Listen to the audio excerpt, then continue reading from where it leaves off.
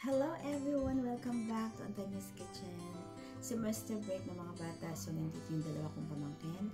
Nag-sleep over sila and they will stay a few days here. And ngayon magkagawa ako ng simple breakfast for them. Tingnan niyo kung ano ang gagawin.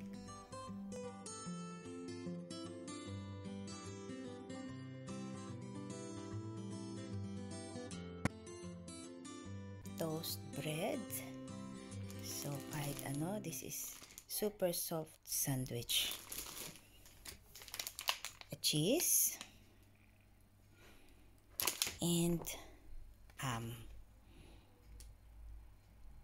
kailangan ko lang breadcrumbs. And one egg.